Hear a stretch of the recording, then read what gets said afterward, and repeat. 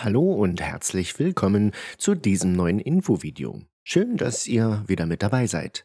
Heute geht es um das Thema Internetbetrug. So könnt ihr versuchen, euer Geld zurückzuholen. Online-Einkaufen ist bequem. Die Auswahl ist gigantisch. Schön, wenn alles mit rechten Dingen zugeht. Doch was tun, wenn's mal nicht so gut gelaufen ist und die Lieferung der Ware ausbleibt oder das bestellte Produkt nicht existiert. Im Jahr 2018 wurden in Deutschland mehr als 50 Milliarden Euro im Onlinehandel umgesetzt. Tendenz steigend. Jetzt während Corona natürlich noch viel, viel mehr. Die gute Nachricht, die meisten Geschäfte, die im Internet abgewickelt wurden, sind seriös gewesen. Gleichzeitig ist das Internet aber trotzdem leider ein Tummelplatz für Betrüger. Auch bei größter Vorsicht. Ein Opfer krimineller Angriffe kann man auch im Internet leicht werden. Die Masche ist eigentlich immer dieselbe. Es werden Waren zu sehr günstigen Preisen angeboten und ihr werdet aufgefordert, in Vorkasse zu treten. Die Ware selbst kommt aber nie an. Und auch auf die Trading-Maschen trifft das natürlich zu. Unseriöse Angebote lauern nicht nur in fragwürdigen Online-Shops sondern auch auf Verkaufsplattformen wie eBay oder Amazon Marketplace und auf äh, Kleinanzeigenportalen. Gerade sehr günstige Angebote und bei Anbietern, die Zahlungen ins Ausland verlangen, ist größte Vorsicht geboten. Insgesamt gilt, gerade bei bislang unbekannten Online-Plattformen oder Online-Händlern sollten alle misstrauisch sein. Wenn Vorkasse geleistet werden soll, Anbieter und die Seriosität der Firmen könnt ihr durch Eingabe des Firmennamens im Internet einfach in der nächsten Google-Suchmaschine oder welche Suchmaschinen auch immer geprüft werden. Achtet außerdem darauf, ob ihr euch auf der echten Internetseite des Anbieters befindet oder auf einer gefälschten Kopie, also Stichwort Phishing und Fake Shops. Das Ganze kann man ganz oben im Adresskopf des Internetfensters, also vom Browser, nachschauen. Kleines Beispiel, mit der Verbraucherschutzzentrale. Man hat ja dieses grüne Schloss oder allgemein ein geschlossenes Schloss vor https www.verbraucherschutzzentrale.de stehen. Auf dieses Schloss kann man in den meisten Browsern einfach draufklicken und schauen, ob die Verbindung sicher ist.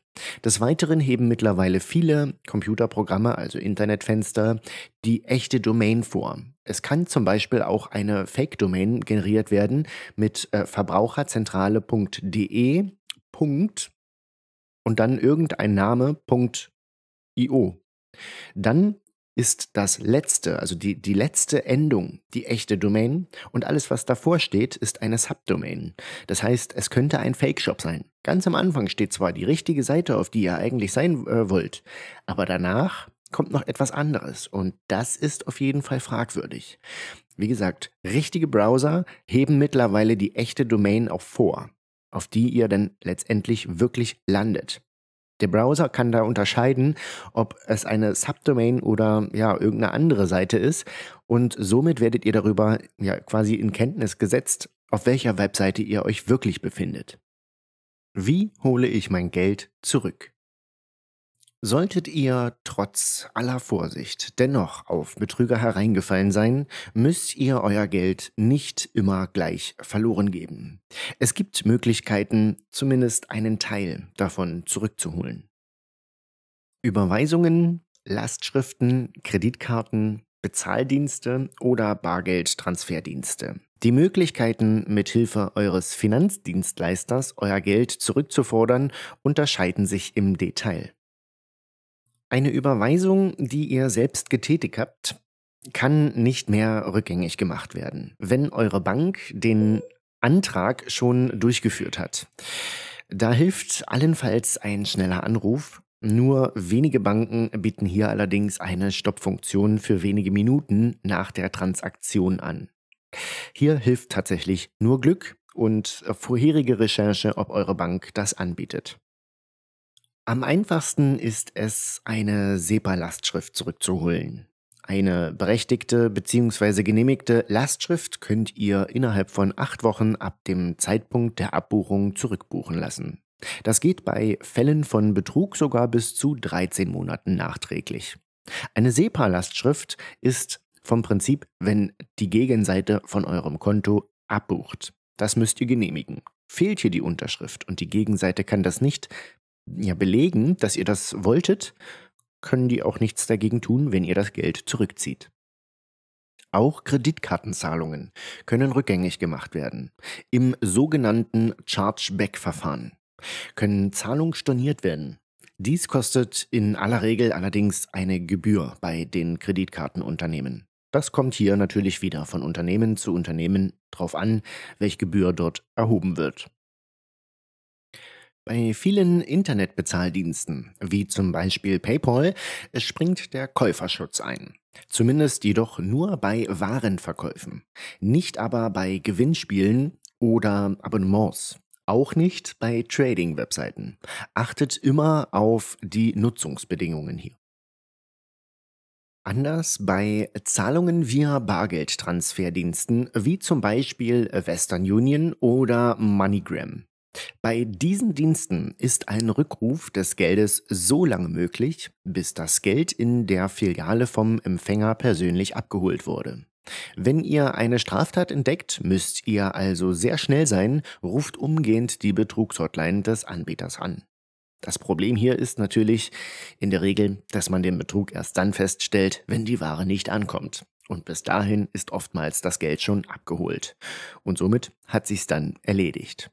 Passt also von daher immer auf euch auf, was ihr macht und wo ihr unterwegs seid. Es gibt Möglichkeiten, das Geld zurückzuholen. Allerdings sind diese nicht immer einfach oder vielleicht auch gar nicht mehr möglich, weil es einfach zu spät ist.